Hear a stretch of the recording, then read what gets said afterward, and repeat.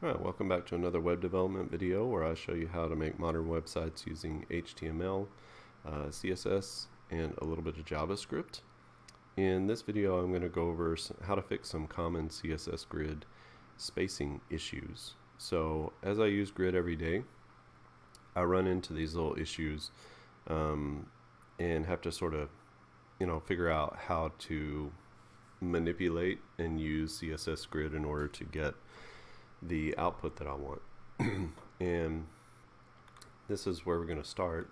And it doesn't look like much here, but what we have is sort of a, a media component uh, where we're going to have a two column layout. So the text will go on this side and the image will go on this side. And uh, there's going to uh, be a spacing issue here. And so I'll just show you how to fix that spacing issue. And then I have a second version where we're going to do something similar where the text is on the left the image is on the right, and then the headline goes all the way across uh, both columns. So just to show you how to how to sort of to deal with that. So I work in the publishing industry, and this is a very common uh, sort of layout that we have to deal with all the time, uh, where we have some blurb about the book on the left or the right, and then we have the book image, right? So uh, you've seen that as you go out to larger sizes. So the first thing we're going to do is make it mobile responsive, and I'll show you how to do that. Um, because this is the source order that I've written the HTML, and this is not the order that I want to visually display. So we can see that we have our grid headline, and then we have our grid text, and then we have our grid image. And typically when you're writing your HTML, you want to make sure that you are uh, writing the source code um, for screen readers uh, to get the most important information to the user first. So think about if you were just reading this out loud, going down the page, um, what is the most important part of this? Typically it's the headline. And when Google searches this page, the headline is going to be the most important part, especially if it's an H1, they're going to give it a lot of importance. And then next, you want the description of the book, and then next, um, you know, for a screen reader, this is just gonna, it's gonna give you the alt text probably, and if there's no alt text, it's gonna tell you what um, the URL of the book is. At this point, this tells us nothing about the book, but we know that for sighted users or users who are looking at this, the book image is really important. So what we want to do on um, what we want to do on mobile devices is we want to make sure that we take this grid image and we put it up here. But I don't want that to be the first thing uh, that hits whenever a screen reader or whenever um, a bot hits the website. I want this headline to be the most important thing. So uh, we can change using either Flexbox or CSS Grid. We can change the visual order without changing the source order, source order in the HTML. Previously, if I wanted to have that sort of layout, I would have just had to take this and put it up at the top in the HTML itself. But now we're given a little bit more uh, leeway visually in and be able to keep uh, the source order in the HTML that we really want. So I've got that set up for both of them. They're both the same style. This one just has a little bit longer headline uh, to do our second thing that we're trying to do. So let's first set that up. And what we want to do is we want to set our grid to uh, display grid. And so now both of these grids are set to display grid. And now we can use any of the grid properties uh, for these child elements. We have three children. We have the H1, and then we have this div uh, that holds our grid text. We could call this uh, article and be very specific. We could call this aside and be very specific. Um, and so we have um, we have our three elements, and you can see them here. And what we want to do is we want to take this element and we want to push it to the top. So that's the very first thing that we want to do. So I'm not going to do anything else with the grid itself, not yet. I'm going to say the grid image um, and the way that we're going to push it to the top is I'm just going to give it an explicit row to be in. Uh, so If you don't know much about grid, let me just show you what it looks like. So if you go into your inspector tools, we've we've set display grid on this entire element here, right? Both of our elements have display grid. So you can see that if we don't excuse me, if we don't explicitly say how many columns it is, it assumes that it's just a one column layout. So we have uh, one row at the top, and then we have our second row here, and then we have our third row here. Uh, and it just sort of lays these things out 100% width because these are all block level um, elements that we've set up. H1 is a block element, this article div is a block element, and then this aside is also a block element. So they all take up 100% of the width of the outside container, which is our grid. So if we don't, you know, shrink that on the sides or give it a maximum width, then it's just going to go all the way across the page. So that's what we're seeing here now. But we have these three rows and we don't want to change the columns. We want the columns to remain uh, one column, at least on, on a mobile device, right? So this is about 350 pixels, which is somewhere in the middle or to the lower end, I guess, these days of mobile phones. And what we want to do is we want to use something to pull this up. Now we can do that in a couple of different ways. Uh, the way I'm going to choose to do it is to just say grid, uh, grid row, and then we're going to explicitly tell the image to go up to grid row number one. Now grid is really great because once you um, once you tell an element where to explicitly go, you go to this row, you go to this column, then it flows everything else uh, around it. So this is actually the first element in our source and it becomes the first element that flows down. So pushing this up sort of makes this uh, an anchored type of element so that it's always going to be in row number one and then that means everybody else has to shift down. So these elements are acting like relatively positioned elements. These elements are acting, uh, these two images, they're acting like sort of like absolutely positioned elements, but they're still in the flow of the document. Um, but just like um, just like if you if you change the source order for real, it would push everything down. That's what we're doing. But we're only doing it visually, which is really nice because nothing has changed with our HTML, you can see. Uh, so now we have uh, our elements exactly where we want them. There's a couple things I want to do here. Um, for each of these grid cells, you can control the alignment inside of them. Um, so what I want to do is I want to take this uh, image because it has an explicit width on it of um, 300 pixels. So I want to just say for my grid image uh, container here, I just want to say grid, uh, it's not grid, it's uh, justify self. So if you're familiar with um, if you're familiar with Flexbox, uh, where you do justify content and that sort of spreads it along uh, the x-axis, um, we're doing the same thing here. So justify self, and then we just say center, and then it's going to go to the center uh, this way. We could have also said stretch, and that because this has an explicit width, it doesn't do anything. Um, at least not as we have it presently constituted. So we'll say center. And then uh, we also run into a problem here because this image has an explicit width. Um, then it stays 300 pixels wide. But when we get to real small devi devices, like uh, if it gets down in this area, what we want is for this image to sort of shrink a little bit. So we'll say image uh, width of 100%, and then that's going to make sure that you know that image is always um, when it gets below 300 pixels that it's shrinking with the page. Um, I'm also going to put a little bit of a padding here. Excuse me.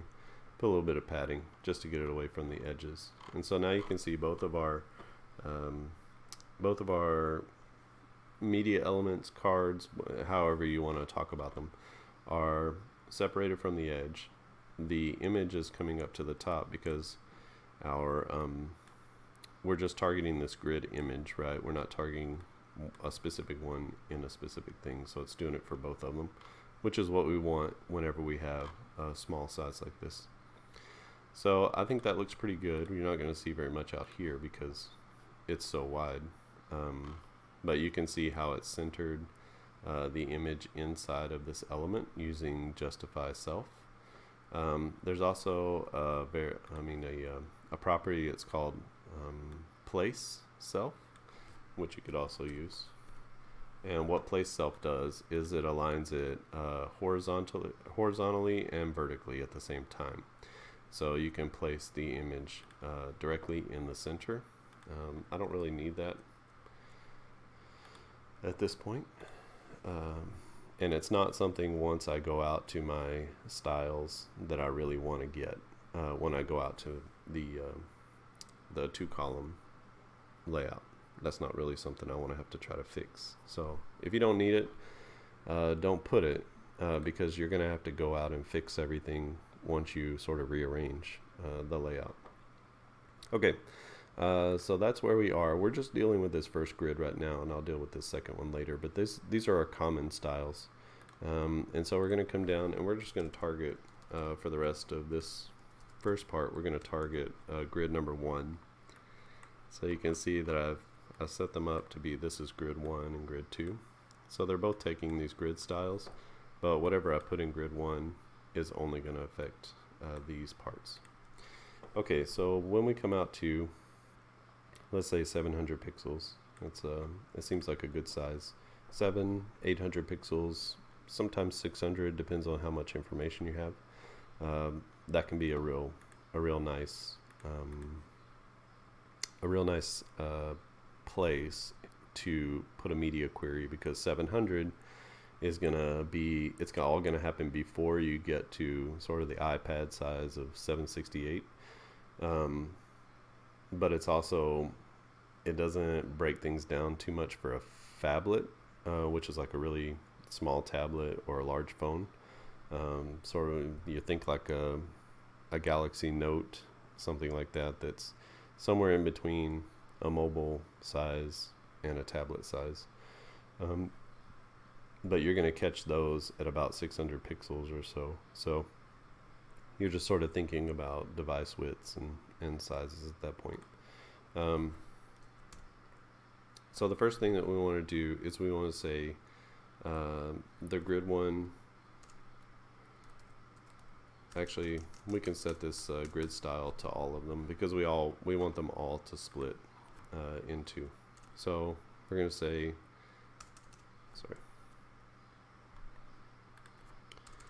We're going to say @media and at the minimum width of 700 pixels we want to say grid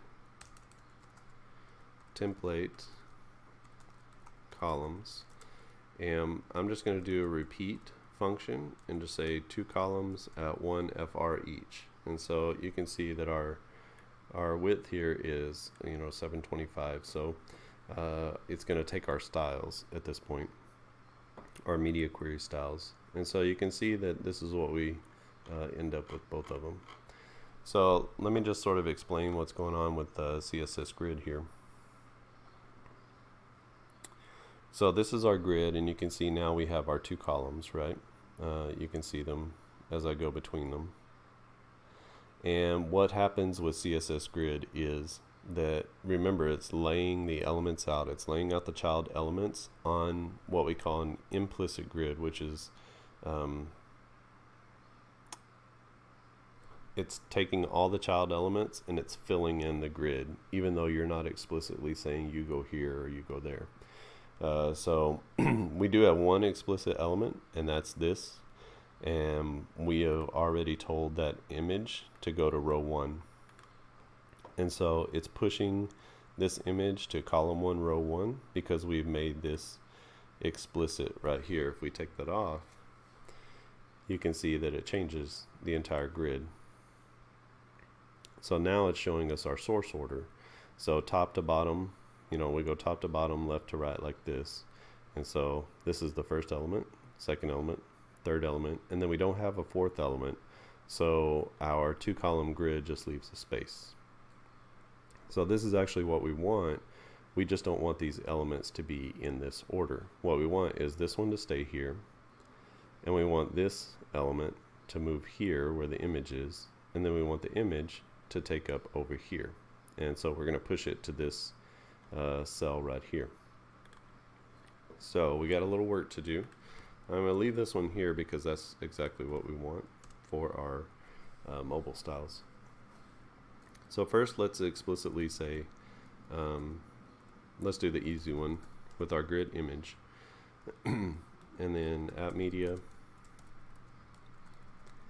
and at a minimum minimum width of 700 pixels what we want to do is we want to say grid column 2 so that pushes it into our grid column 2 it's already in grid row, row 1 we could make that explicit anyway and we could say grid row 1 don't necessarily need that um, but it, it might or might not help us in the in the future okay so now we have the layout that we want essentially. We have this in the first um, in the first row first column. We have this first row second column. And then we have our text here that's automatically being flowed down to here in our row 2 first column. Now I don't want to take any chances so I'm going to explicitly say we want this here. Uh, because this is a specific layout I'm just going to sort of put these things specifically and not leave it up to chance or to the grid to figure things out. So I'm going to say grid headline. And then again with our media query so we only want this to happen uh, at a certain width. So we're going to say grid column 1 and we're going to say grid row 1 and so you're not going to see any changes to the layout. This is just making sure that we explicitly say where things are. Okay and then this one is going to be for our grid text. And we want that to be column 1 this is a problem here because now it's in the same row and column as our headline not what we want. We want that to eh, actually be down below in grid row 2 okay and so now we have everything set. We have our headline here in column 1 row 1 we have our image here and then we have our text in row 2 so you can see that nothing actually changed. If I refresh nothing will change with this layout. It's exactly what it was. Now we have this huge space here. And so this is where we start to get into fixing some of the problems uh, with CSS grid. You think it should all just work out. But if you've ever worked with uh, HTML tables um, maybe you're too young for that or maybe you just haven't done any tables work uh, that used to be the way that we laid out um, complex grid layouts a long time ago. And so anyone who's ever used HTML uh, for layout, uh, HTML tables, or if you've done email, that type of thing, then you know about column spanning and row spanning. We're going to do the same uh, types of things here. And what that's going to do is it's going to shore up this space. So what we need to do in order to get rid of space over here, because you can see that it's taking up it's being affected by how much space this image is taking up. So you can see that the image is taking up this amount of space and then it's pushing, it's forcing that whole, whole row to take up that amount of space. So whatever the largest element in that row is, it's going to take up that amount of space. So one of the things that we can do is we can actually take this element and we can span it across two uh, rows in this column and then that should shore up this space here. Because it'll be like this is uh, got more room to expand and it's not pushing this row so far. So let's um, we want to go to our grid image. Man. Allergy season right? So we have this media query here and then at this part we don't want it to be grid row 1 we want it to be grid row 1 and then we want it to start here and we want it to end somewhere. Now when we're looking at our grid we can see that this is uh, track 1 so for our grid rows this is track 1 this is track 2 and this is track 3 um, for our columns this is track 1 track 2 and track 3. So this is uh, when you're doing the numbers, uh, the grid lines, the grid tracks, the grid uh, row start and finish. Uh, if we say if we say 1 slash 2, that means we want it to start at grid track 1 and then we want it to end at the beginning of grid track 2 which gives us exactly what we're looking at right now. So this is sort of the default, it's only taking up one row. So it's starting at track 1 and then it's finishing at track 2. So don't think of these as rows, think of these as the track lines. So this is sort of one of those weird uh, nomenclature naming type things that comes with CSS Grid. You have to just shift your thinking a little bit uh, because it is true that this is in grid column 2. That is true. But what it is, is that it's really like saying uh, grid column 2.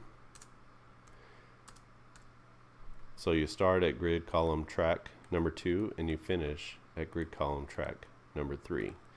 And so when we do this, it doesn't change anything because we're starting here and we're ending here. So try not to think, if you need things to span, try not to think in absolute terms like this is grid column number two. Even though in essence, if all you want is to put it into grid column two, that's all you have to do. It's really like saying two slash three. Okay, so for our purposes, we want this to go to not two, we don't want it to stop at two, we want it to stop at grid track three. So then we just make this a three. And then now you can see even over here that everything got pulled up in real time. And we can see it uh, a little more explicitly here. So you can see that now our image is not stopping at track number two, it's going through and spanning all the way to track number three. And so we have essentially the layout that we want. We have our headline here in column one, row one. We have our image taking up all of column two, so row one and two. And then our text is in column 1, row 2. Okay, so this is exactly the layout that we're looking for. Now, this is one of the other issues that I run into quite frequently, and that's here. This space, this is sort of just dead space. So you can see when I roll over the element, there's uh, a margin, and this is being applied automatically for an H1 element by the browser. So that's going to happen. you could take away that margin if you wanted to. I'm not going to do that here. Um, but you would just say whatever that H1 element is, margin 0, and that would get rid of the orange margin uh, that it's showing. Now, that's still not going to shore up this blue space. All this space under here is just sort of dead space. And it makes it look, um, in design terms, like these are two separate elements, when the reality is this element actually goes with this text. And so we want to pull up that space just a little bit. And with CSS Grid, we can control the spacing of each of the uh, elements. So we can control like how wide the columns are. Uh, we can control how uh, tall the rows are.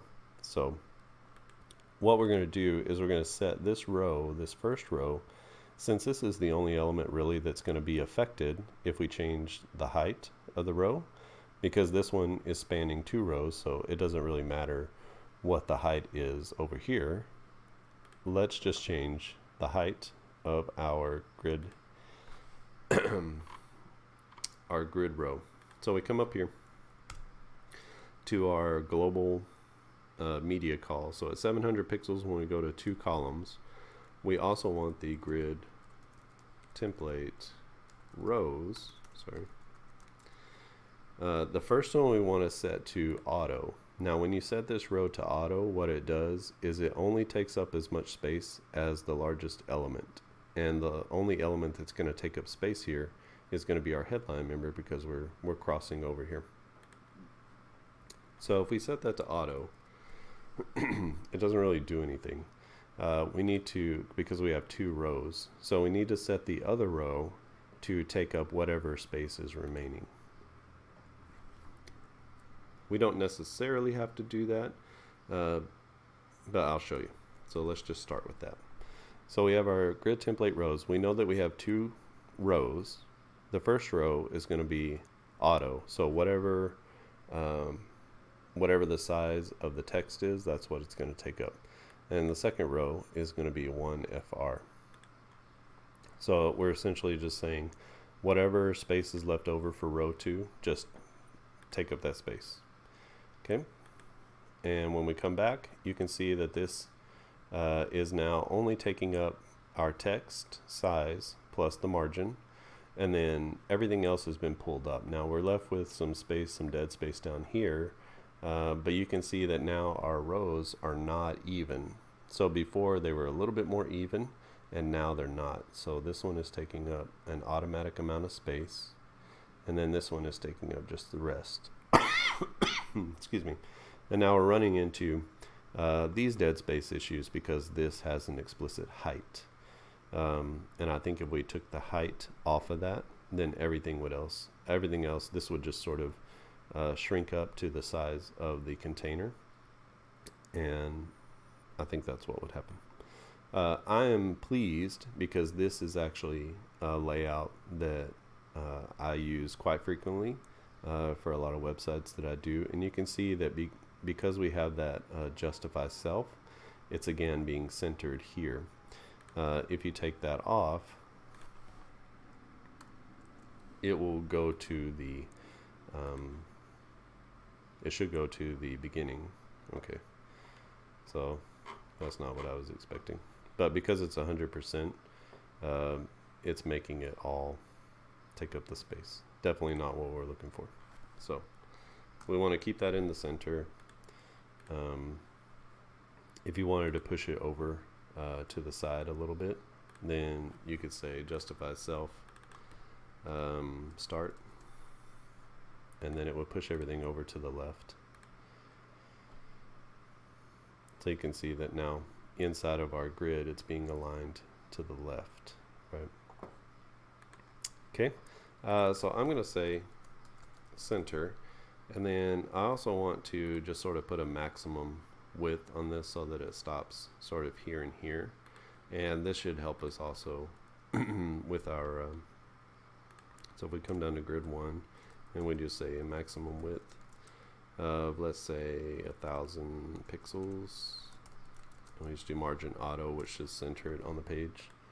Um, so it should give us a nice, you see how it sort of centers our grid and shores up everything a little bit. There's a little bit of dead space here, but um, it's not nearly as noticeable as it was before uh, because everything was being so stretched out. And you can see that the space, the dead space on either side of the image is also uh, being taken up a little bit. So this is a pretty common uh, issue that I run into uh, as far as uh, these are concerned. And now, now if I take this off, it probably won't look so horrible because it can only get so big. Um, you know, it can only get so big before it does stuff. But that's if it takes up all of the available space in here, then it sets that as its height. So this one looks fixed to me. If I take this off and stop, you know, giving epileptic fits, then you can see that we have our headline here and we have our text and then we have our image. And remember this is all being um, controlled by CSS grid uh, so that when when we come out everything is good. And then when we come down to our mobile sizes you can see that our mobile styles are, are taking place. So that is grid number one so if you have any questions about that particular one you can just reference it as grid number one down in the uh, comment section. All right, so the second one here, uh, we have our mobile styles exactly like we want. But when it comes out, uh, we get sort of the same thing that we wanted to do um, with the first one. But what we want to do with this grid is instead of um, instead of having column one, column two, what we want is for this headline to go all the way across column one and two. And then we want the top of this to be even with the top of this. So let's work on that part. So I'm going to come down and make a new declaration for uh, grid number two. And so anything, any styles that we mark here are going to be prefaced with grid two, so it's only affecting uh, this grid.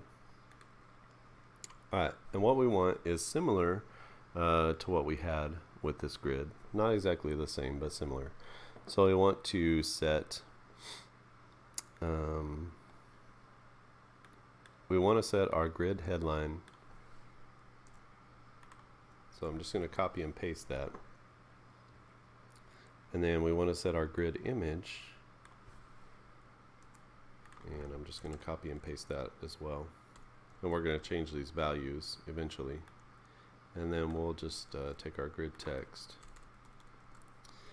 And so we wind up with the same layout.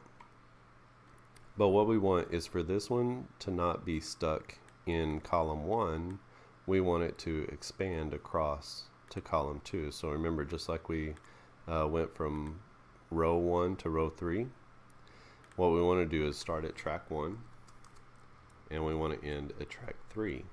So now you can see that it pushes our it pushes our uh, headline all the way over. Now we're getting overlap here uh, from the image because the image is explicitly uh, in grid column 2 and it's starting in row 1. So what we want is for the image to be down in row 2 so that it's even with the top of this. So all we have to do is come through and we just want to say start at grid row uh, track 2 and then just go down and uh, and take up one row of space. And really that's all that we need to do because this is already in place. It's in grid column 1 and in grid row 2 and this one is the one that we really needed to change in this one. So uh, when we come into our excuse me when we come into here we can see that we have everything set up so let's look at the uh, at the row. And row one, remember, is auto. So it's only taking up as much space as this H1 element needs, uh, which is exactly what we want. If you wanted to have more space, you could give it an explicit number. You can use pixels, you can use percentages, you can use uh, viewport width or viewport height. Anything that you want necessarily, you can use ems or rems uh, in order to create the size for this um, for these rows and columns. And then uh, let's just give this a maximum width, just like we did with this one. You see there's a max width of like a thousand. So since we're doing it for both of them, let's go ahead and put this on our global element.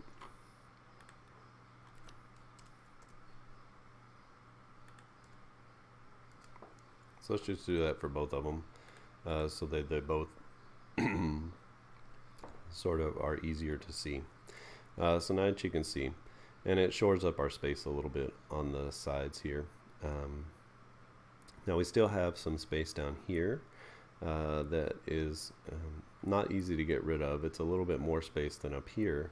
One way that you could get rid of that would be to um, make this column less wide, so thinner, and what that would do by squeezing in this way would be to push the text down this way. Um, it would also give you more gap here because of the space between your image and this column because this column is getting wider this way that gap is going to increase a little bit but it's not going to affect your headline because your headline is spacing uh, across two columns so there are a couple of different ways uh, to fix that particular problem. Uh, one I'll show you now is just um, it's a line height issue. So you come down to your grid text and you say a line height of let's say 1.5 and you can see here that it stretches out the lines a little bit and that's going to close up uh, this space uh, just a little bit. So there's less space here, it's about as much as up here now. Uh, so if you get out to that point and you need to sort of fill in some space, um, you don't want the general rule for line height is you can see that it's a little bit in some ways easier to read than this big block of text. Uh, a little airier. More airy? More airy? Um, but there's more air in between the lines. So the rule of thumb is when you stop seeing the paragraph and you start seeing each individual line, you've gone too far with the line height because you don't want these to read as each individual line. You want to read as a paragraph. So this is like 1.5. Um, if you did a spacing of one and a half on a research paper or something, that's that's what this spacing is. So the smaller the text, the more you can get away with tight.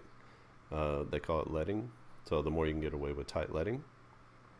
The larger, um, the larger the text, the more you can get away with sort of loose leading uh, because it fits better together. Um, so just a little design, something or other for you. And that helps to close in this gap just a little bit so that it's not quite so noticeable.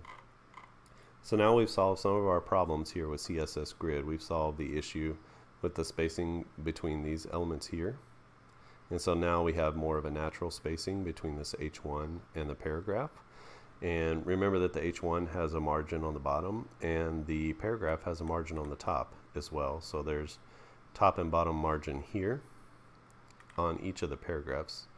So there's uh, 1.5, I believe, or no, uh, 1. So there's one rem of space on the top and bottom of each of these paragraphs.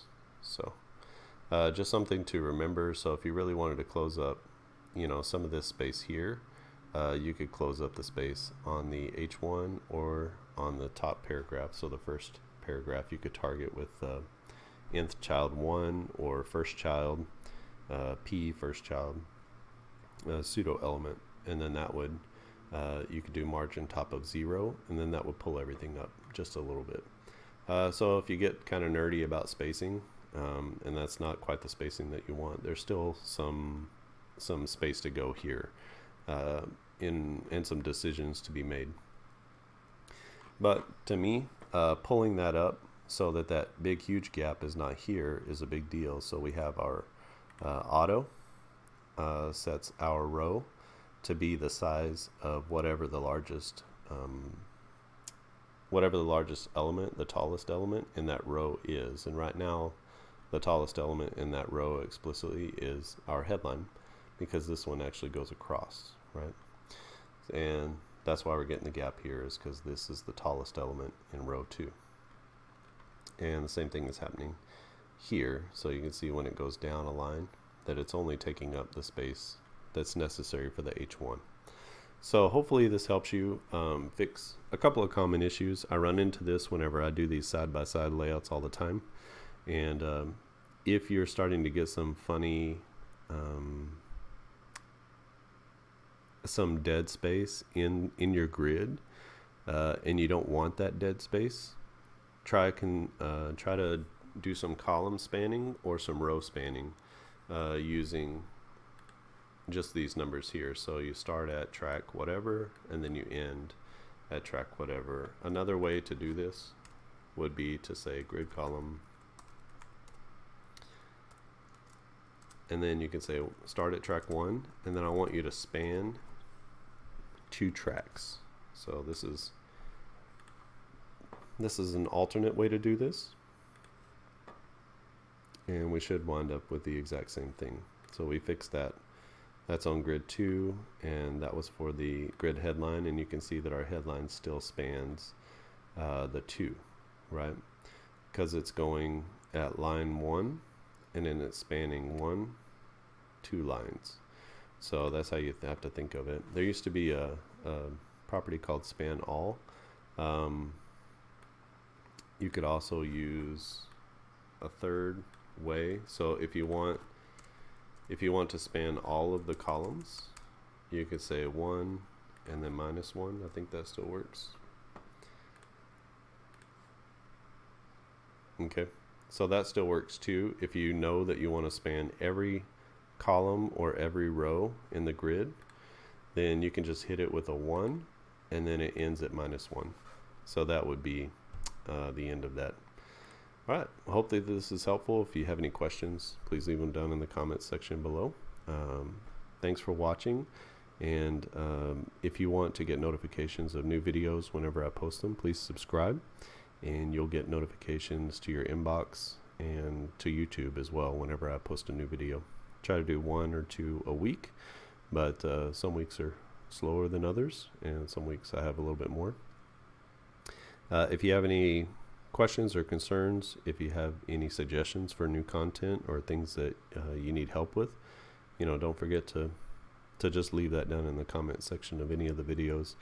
I have a full uh, playlist of CSS Grid, so if you want to uh, learn a little bit more about the basics of CSS Grid or you're a little bit lost with the things that I'm talking about in this video, um, go back and, and watch those. It's three or four or five um, sort of introductory, uh, getting the basics of CSS Grid, uh, learning how to put things into the grid, learning how the grid flows and how it works, and how to set it up in your CSS. So I encourage you, if you need to uh, get caught up with CSS Grid, to look at that uh, playlist. All right. Well, thanks for watching, and I'll see you again next time.